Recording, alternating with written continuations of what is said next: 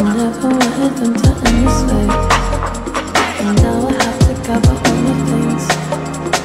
They didn't have the problems that I bring.